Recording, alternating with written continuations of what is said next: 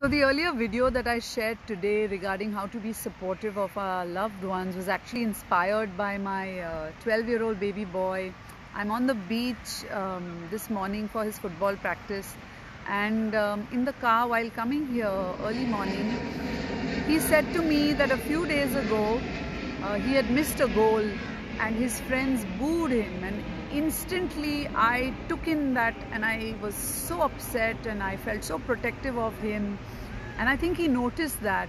And he said to me mama don't be uh, upset because today I'm going to play so well and I'm going to do something so spectacular that you know um, they're just going to I'm just going to shut them up.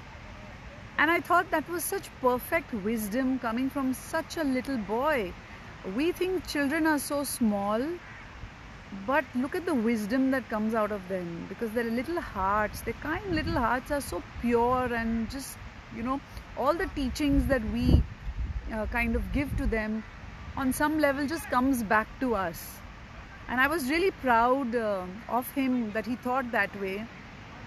And that's when it struck me that actually today i was of no support to him. He was the one who taught me such a beautiful lesson so we must not underestimate our kids because there is so much that we can learn from them.